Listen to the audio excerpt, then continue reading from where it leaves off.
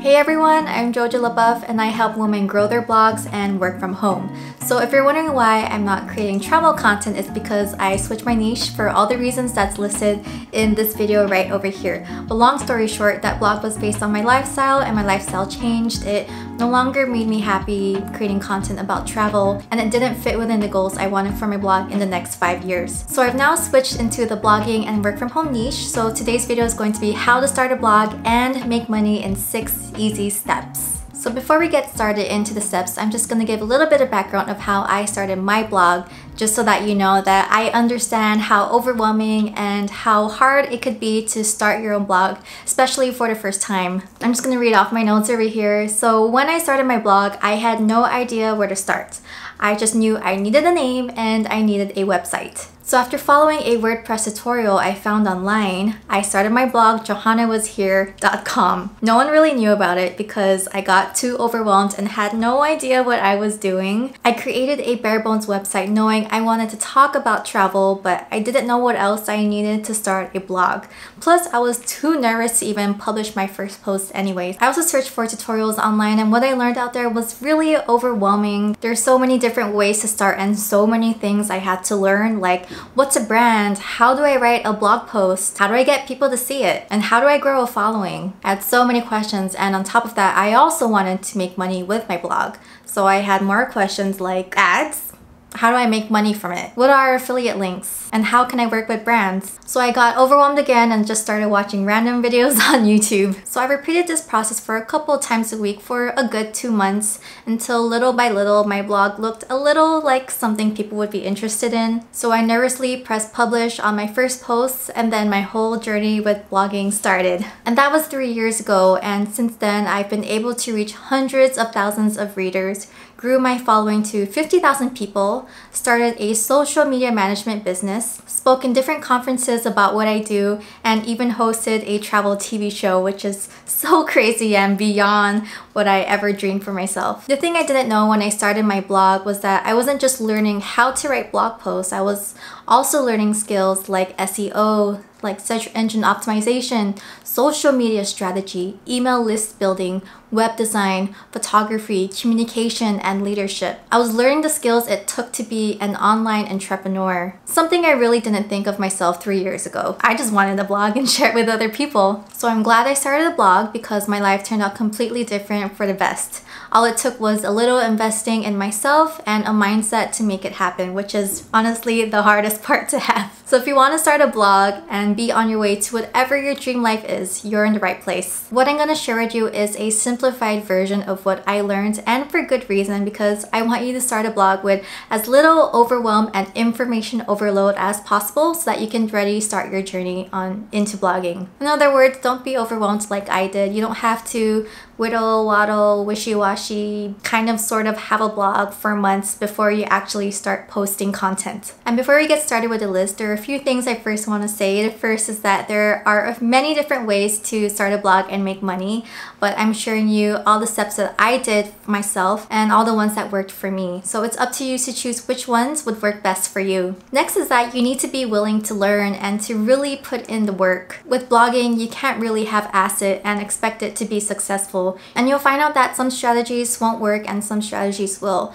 But my point is don't give up if something doesn't completely work out. Just think of your blog as a fun experiment and you're figuring out what works and what doesn't work. Next, my request for you is to let go out of any excuses or negative mindsets that could get in the way of you starting your blog. Anything that sounds like I might fail or I don't have enough time or it has to be perfect. If that's something you come across when you start your blog, I challenge you to just put those excuses aside, work on your blog because you can always come back to those excuses later. And last, what I'm sharing with you is a short version of my free PDF. It is the Bold Blogger Launch Checklist, where you'll find a no-fuss checklist of everything you need to launch your blog in doable steps. Okay, now after all that talk, let's get started. So here are the six steps to start your blog and make money. First, you want to plan out your blog with a strategy and a brand. So coming up with a strategy for your blog is the first thing you should do before setting up your website.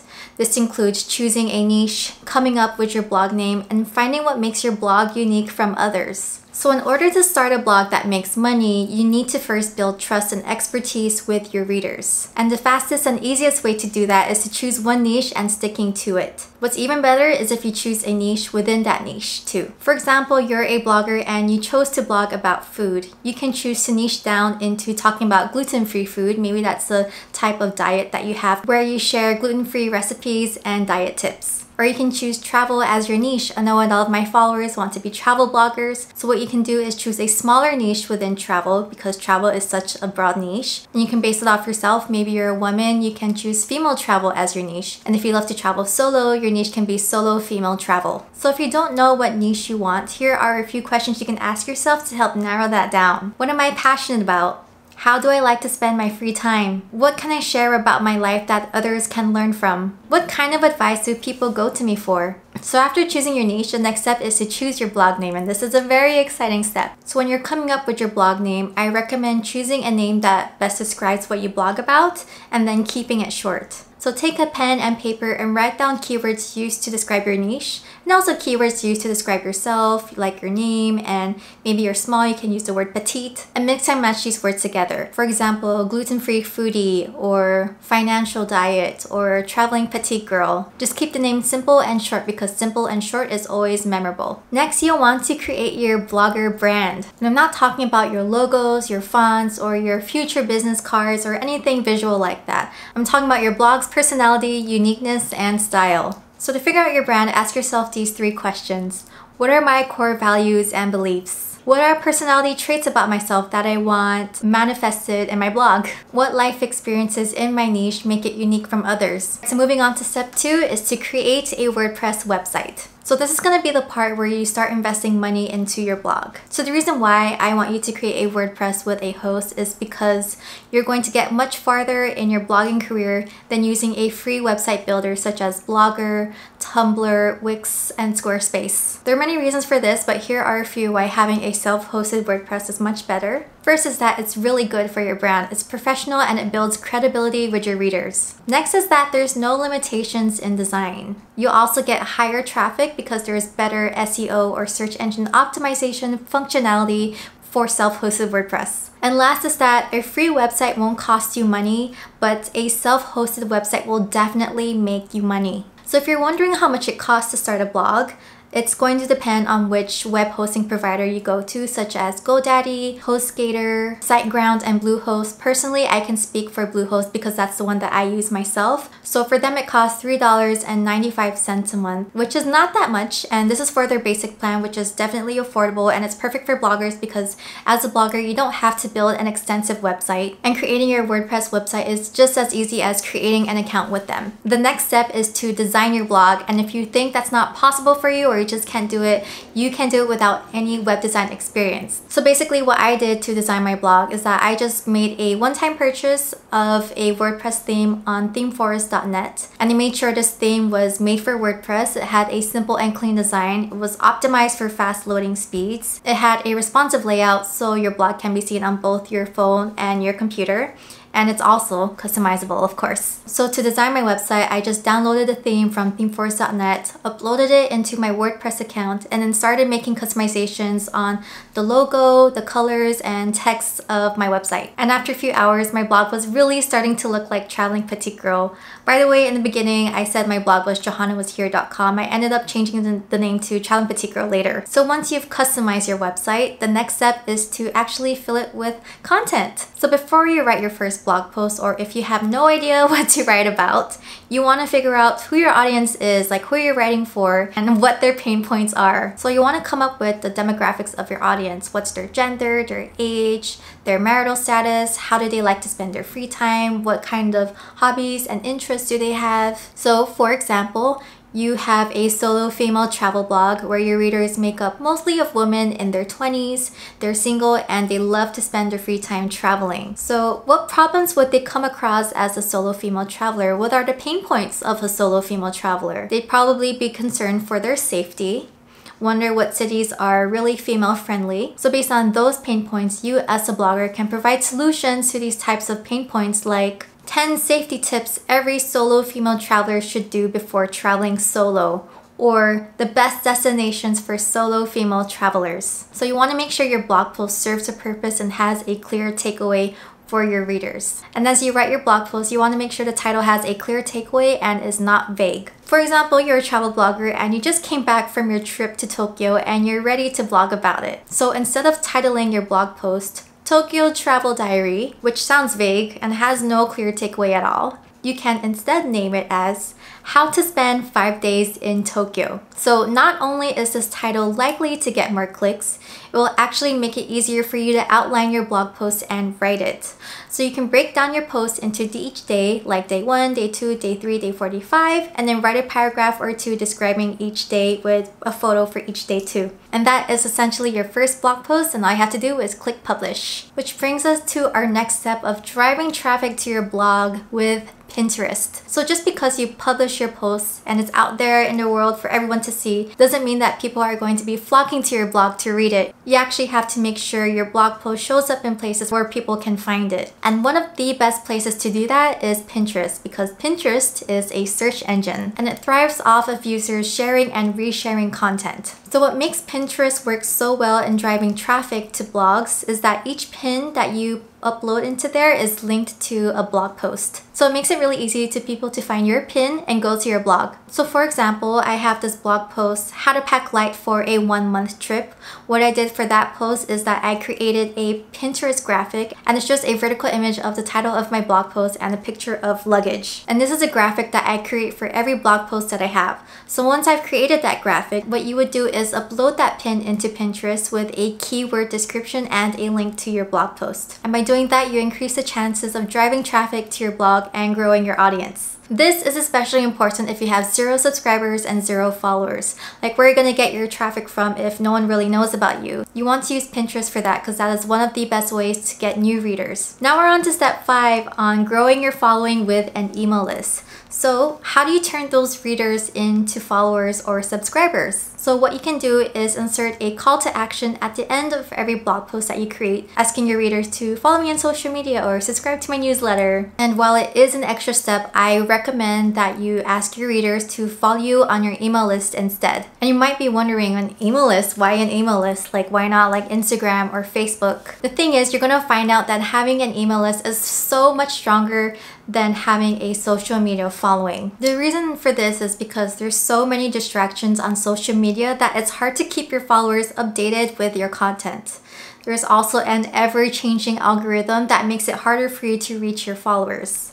So when it's time to share a big update or a new blog post or a new product, your followers are less likely to see it, especially if they're following hundreds of accounts. So that's why the best platform to grow your following is with an email list. That's because it's a natural and much more personal way to connect with your followers because not only did they make the choice for you to show up in their personal inboxes, you also don't have to compete against an algorithm because email is chronological. And not only that, you can send an automated and personalized email where you can welcome each subscriber into your community and introduce yourself so that they can get to know you better. That's something you cannot do with social media at all. So so to start growing an email list, you first need an email service provider, of course. And what an email service provider is, is that it collects the emails of your readers and also provides you a platform for you to email all your readers at once. And my favorite two are ConvertKit and MailChimp. Currently, I use ConvertKit, but if you're not ready to pay a monthly subscription, I highly recommend MailChimp because it's free to use until you reach 2,000 subscribers. And MailChimp was the first email service provider I chose because I had no idea what I was doing and didn't want to invest into an email service provider until I actually knew what to do with it. So in your call to action at the end of your blog post, you don't want to write anything vague like sign up for my newsletter because you won't get that much subscribers that way. What you need to do is give your subscriber an exact reason to sign up for your email list. So a vague sign up to my newsletter won't cut it. Like they don't understand the value they're getting just by signing up to their newsletter. And in my experience, one of the best ways to get readers to subscribe is to include a free download into your blog posts. And this is something you can automatically send to them every time each person signs up. So using this blog post as an example, this post was a tutorial on how to edit orange and teal colored photos on a popular creative program. And to make my readers' life easier, I created a preset for them to download so that they can achieve the same orange and teal look just by the click of a button. And to this day, I still get subscribers from this blog post even though I wrote it years ago. So think about some free downloads you can include into your blog post. And it doesn't have to be a new one for each blog post. It can just be this one really good free download that you promote in multiple blog posts. Alright, now after all that work, the next step is step 6 and that's to start making money. So now that you've done all the steps from 1 to 5, the next step is to set up the different streams of income from blogging. So one thing I want to say is just because you just started blogging doesn't mean you can't make money yet. You can actually make money already. And even if you have little traffic to your blog, it's best to set up these different streams of income. That way you don't miss on the traffic and potential income you could already be earning. So here are three ways you can already make money from your blog. First up is with affiliate links. So as you write your blog posts, you're going to recommend your favorite products to your readers. So instead of linking your readers directly to the product's website, you can use an affiliate link instead. So what an affiliate link is, is that it directs readers to the website of the product you're recommending, but it's tagged with your affiliate account. So when your readers buy something during that visit, the affiliate program will know you directed them there, so they will pay you a commission based on the products the readers bought. So here are a few examples of blog posts you can write that use affiliate links. 10 natural moisturizers for dry skin, 5 must-have appliances that should be in every kitchen, 10 best cameras for beginner photographers. So affiliate programs you can join are shareasale.com and amazonassociates.com. The next way you can make money is through ads on your blog. So by including ads into your blog posts or within your header, sidebar, or footer, you can make money based on the number of people who see it or people who click on it. So the more traffic you get to your blog post, the more money you can earn. Just understand that when you do this, ads can actually get in the way of the reader experience. So this isn't something I do on my blog because I want to keep my blog free from distractions and I would rather have my readers spend a longer time on my blog than click out of it too. But this is based on personal preference and the goals of your blog. A couple of ad programs you can join are Google AdSense and Mediavine. Alright, now the third way you can make money with your blog is through brand sponsorships. So even with little traffic and a small following, you can already work with brands. I've heard of bloggers with 4,000 views a month and 2,000 social media followers work with big brands like Tuft & Needle. So Tuft & Needle is like a mattress company and they've worked with bloggers of this type of following and they've sent them mattresses and even paid them just to work with them. So the reason why it's possible to make money from having a small following is because when you have a small following, your engagement rate is actually higher than those with larger followings. So when you contact brands, let them know the engagement rate of your social media posts along with the open rate and click rate of your email list. Brands love working with influencers and bloggers with high engagement rates, so make sure that's your selling point when you introduce yourself to them. A few places you can connect with brands is with Aspire IQ, Upfluence, and Social Native. Aspire IQ is my favorite, but they have a requirement of 10,000 followers. But honestly, the best way to contact brands is by going on LinkedIn, searching for the emails of the people who work for the brands that you want to work with,